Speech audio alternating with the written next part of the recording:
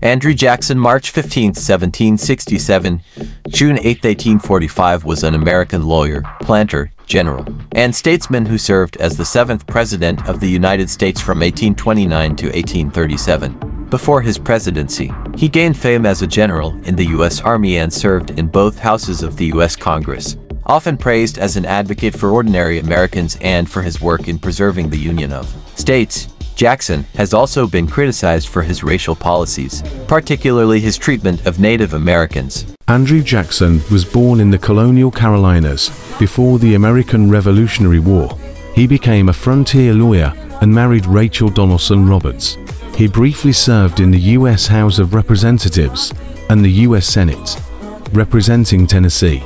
After resigning, he served as a justice on the Tennessee Superior Court from 1798 until 1804. Jackson purchased a property later known as the Hermitage, becoming a wealthy planter who owned hundreds of African American slaves during his lifetime.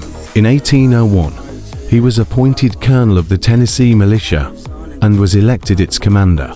He led troops during the Creek War of 1813 to 1814, winning the Battle of Horseshoe Bend and negotiating the Treaty of Fort Jackson that required the indigenous Creek population to surrender vast tracts of present-day Alabama and Georgia. In the concurrent war against the British, Jackson's victory at the Battle of New Orleans in 1815 made him a national hero.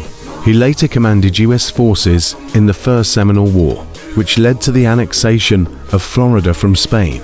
Jackson briefly served as Florida's first territorial governor before returning to the Senate. He ran for president in 1824. He won a plurality of the popular and electoral vote, but no candidate won the electoral majority. With the help of Henry Clay, the House of Representatives elected John Quincy Adams in a contingent election.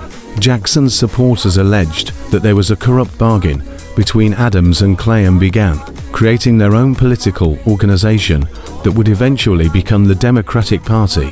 Andrew Jackson ran again in 1828, defeating Adams in a landslide.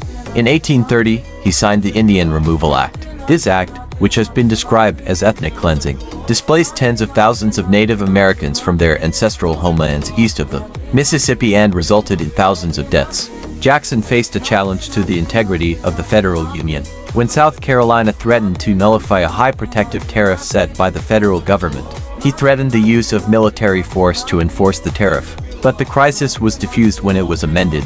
In 1832, he vetoed a bill by Congress to reauthorize the Second Bank of the United States, arguing that it was a corrupt institution. After a lengthy struggle, the bank was dismantled. In 1835, Jackson became the only president to pay off the national debt. He survived the first assassination attempt on a sitting president. In one of his final presidential acts, he recognized the Republic of Texas. After leaving office, Jackson supported the presidencies of Martin Van Buren and James K. Polk, as well as the annexation of Texas. Jackson's legacy remains controversial, and opinions are frequently polarized. Supporters characterize him as a defender of democracy and the Constitution, while critics point to his reputation as a demagogue who ignored the law when it suited him. Jackson's presidency has consistently been ranked as above average, although his reputation has declined since the late 20th century.